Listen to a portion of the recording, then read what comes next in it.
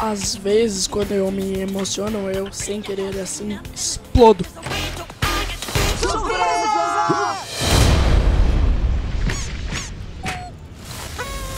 Ah, foi mal, detonei a festa.